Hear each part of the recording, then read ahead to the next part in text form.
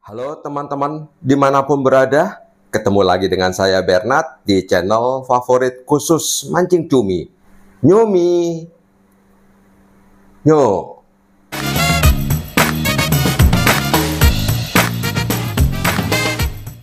Nah, teman-teman, hari ini saya kedatangan produk umpan cumi atau Egi merek Yamashita Egi Ohaka. Nah, ini produk limited ya. Jadi ini produk uh, untuk memperingati 10 tahun anniversary umpan cumi Yamashita tipe Egi Ohaka. Jadi Yamashita membuat tipe Egi Ohaka ini sudah 10 tahun yaitu sejak 2013. Yamashita hanya memproduksi dua model ini saja untuk peringatan 10 tahun anniversary-nya dan hanya ukuran 3,5 saja. Warnanya warna merah yang atas ini sama warna biru. Nah, oke okay, teman-teman, kita coba uh, lihat lebih detail lagi untuk dua produk limited ini yang memperingati 10 tahun anniversary-nya ya. Oke, teman-teman. Ini kita buka ya. Kita keluarin produk uh, umpan cuminya ya. Nah, oke, teman-teman. Ini kita singkirkan. Nah, untuk peringatan 10 tahun anniversary tipe Egi Ohaka ini Yamashita cuma memproduksi dua warna ukuran 3,5 saja ya. Nah, yang saya pegang ini adalah ukuran 3,5 warna merah. Jadi, apa saja fitur-fitur yang ada di umpan cumi Egi Ohaka yang limited edition ini ya. Seperti biasa untuk produk Egi Yamashita dia sudah ini ya ada tulisan uh, warm jacket. Jadi warm jacket itu adalah kain yang melapisi body Egi atau umpan cuminya ini dia terbuat dari bahan khusus yang dapat menyerap panas baik dari sinar matahari atau dari sumber cahaya lainnya sehingga nanti waktu umpan cumi ini e, masuk ke dalam air dia akan e, mengeluarkan panas atau satu e, suhu hangat yang dapat terdeteksi oleh cumi sehingga cumi akan mendekat gitu. Lalu untuk fitur keduanya adalah dia ada tulisan di sini 490 glow yaitu eh, di bagian ekornya ini ada stiker yang dapat mengeluarkan sinar di saat gelap.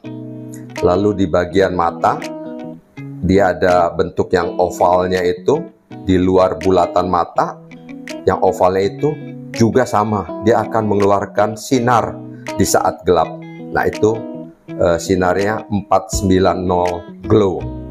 Lalu yang fitur terakhir lagi khusus memang uh, Egi tipe OHK ini adalah ada tulisannya fin. Nah, fin ini adalah bagian yang ini, teman.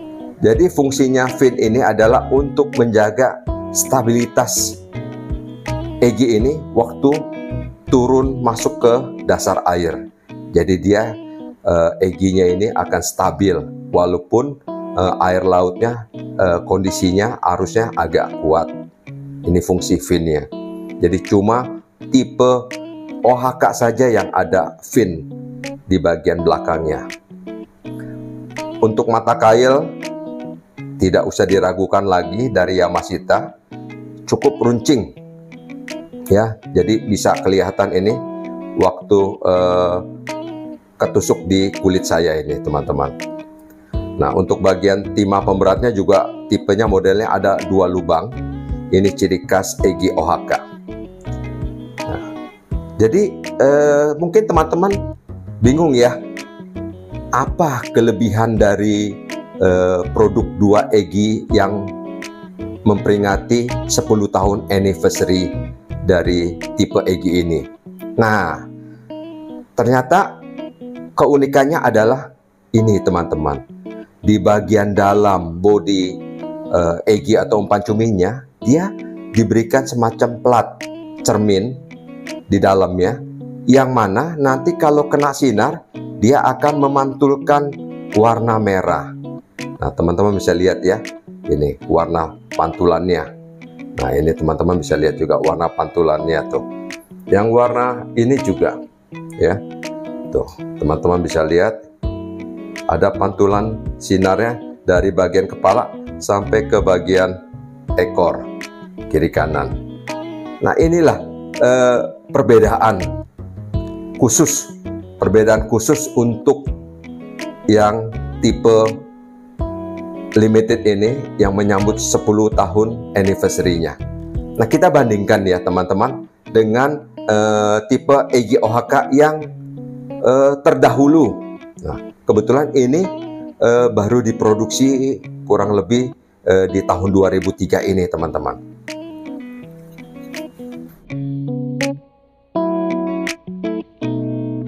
Untuk yang tipe neon bright ini ada tiga warna, eh, hijau, biru, dan merah. Kebetulan yang merah saya lagi dipinjam sama teman. Lah, yang hijau ini fungsinya adalah uh, saat kita kondisi airnya sedang keruh kehijau-hijauan. Untuk yang warna biru ini kondisi airnya uh, bening. Lalu yang merah kondisi saat mendung atau pagi hari atau waktu sore hari.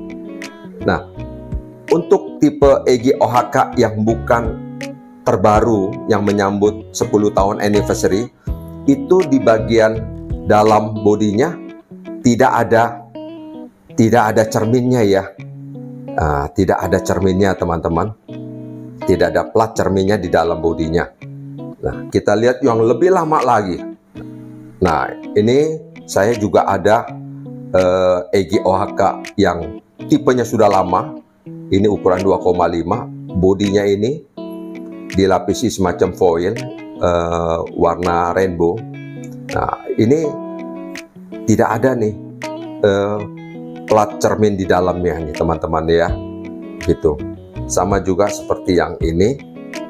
Ini juga uh, tipe lama ya teman-teman. EG OHK tipe lama saya ukuran 2,5 di dalam bodinya tidak ada cermin pantulan. Nah, ini teman-teman ya, bisa lihat. Nah, ini tipe EG OHK yang terbaru ya, di mana di dalam bodinya ini ada plat mirip cermin yang dapat memantulkan sinar. Teman-teman bisa lihat ya, mantulan sinarnya. Ini mirip sekali dengan umpan cumi Yosuri yang merek Dual Lens Q saya udah pernah review. Nah, teman-teman bisa lihat ya di pojok kanan atas itu uh, review saya untuk produk Yosuri Dual Lens Q. Nah, percis di dalamnya juga ada lensa. Walaupun ini lensanya uh, statis ya, beda seperti yang lensa cermin EGI merek Shimano yang bisa bergetar.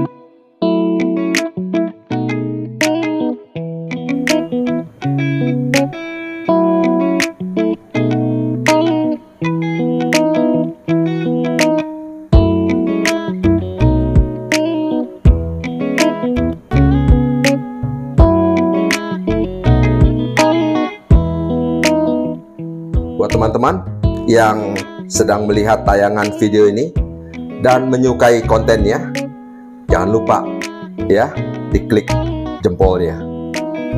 Dan buat yang belum klik tombol subscribe dan loncengnya, juga silakan diklik agar nanti teman-teman secara otomatis akan mendapatkan notifikasi dari YouTube apabila ada video-video terbaru dari saya. Saya rasa cukup ya review singkat saya untuk umpan cumi terbaru dari Yamashita Egi Ohaka menyambut 10 tahun anniversary-nya. Sampai jumpa. Salam dunia hitam. Trot.